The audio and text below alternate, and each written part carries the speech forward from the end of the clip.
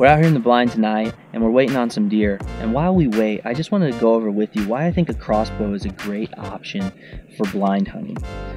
First, this is the TenPoint Turbo GT crossbow. It's the one I'm hunting with tonight. And one of the features that I really like um, about it is that it's 6.5 pounds, making it, you know, really compact and lightweight to shoot out of these windows and in tight quarters. The next feature that I like is this three power scope. The three power scope allows me to see that animal and bring it a little bit closer so I can make a great shot on it.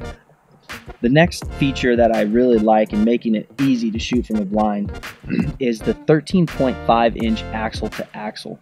You'll never really notice the width of this crossbow because it's never going to get in the way. It's so compact and it makes it easy to shoot out of these windows when you got to work with angles or you know work a way to get at a shot you know because a deer's coming in a certain way the next thing is the AccuDraw 50.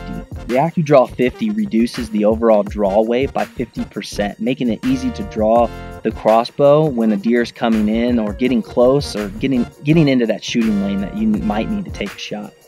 The other thing is probably the most important about a crossbow, and that's the feet per second that it shoots bolts. And this one shoots bolts at 350 feet per second. So all of these features in the TenPoint turbo GT make it a great option for blind hunting. Hope you enjoyed and uh, hope you try one out soon.